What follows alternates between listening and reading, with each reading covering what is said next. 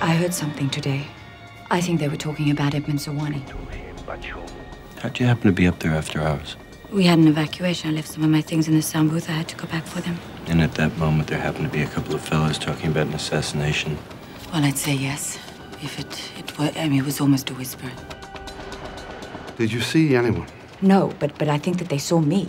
The last thing we can afford is to have some foreign leader get popped on our soil, and particularly a guy like this that we don't like.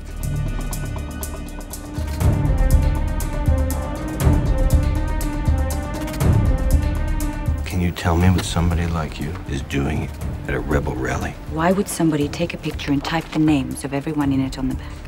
This is a death list. I'm scared. Hello?